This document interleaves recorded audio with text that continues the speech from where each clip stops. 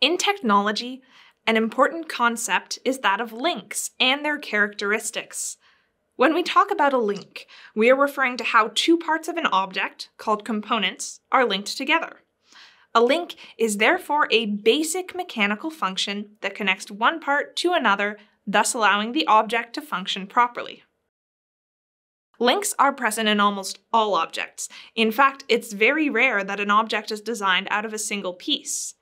We can find links in complex objects such as a motor or a clock, or in other simple objects such as a spoon or a chair.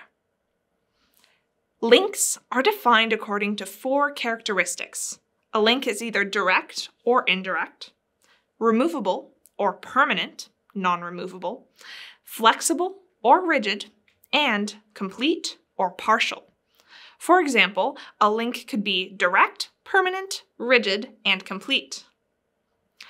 An indirect link involves a linking component to hold the two parts together. The linking component is an intermediate unit, which can be, for example, glue, a nail, or a rivet.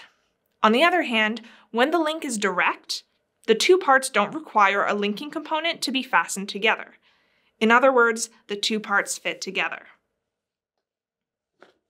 This clothespin is made of two wooden pieces linked together by a spring. In the clothespin, there is a linking component, so it is an indirect link. Here, there is no linking component to hold the bottle and its cap together.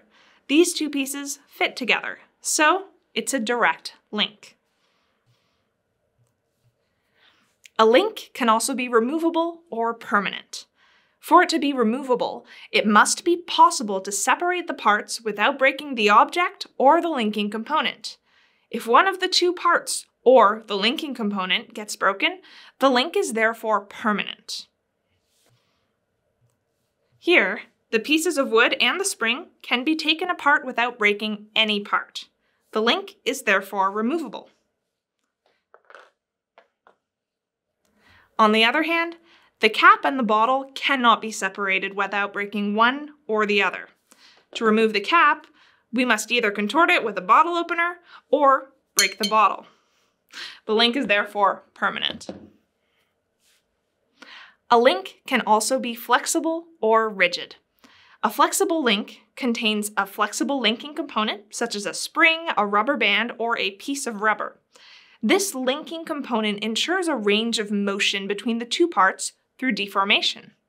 In other words, the parts of the object return to their initial position. In a rigid link, the two parts are directly connected to each other, or with a linking component, and do not allow a return motion. These two parts of the clothespin are held together by a linking component, the spring, which is flexible. The spring allows the two parts of the wood to return to their initial position. The link between these two parts is therefore flexible. On the other hand, the link between the bottle and its cap doesn't contain a flexible linking component which would allow the parts to return to their initial position after a motion. The link between these two parts is therefore rigid. Finally, a link may be partial or complete.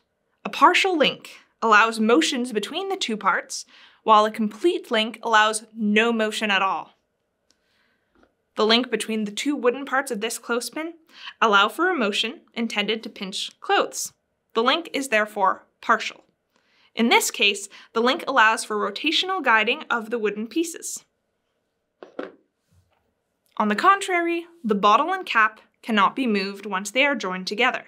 Hence, the link between these two parts is complete. We can therefore define any link in a technical object using four of these characteristics.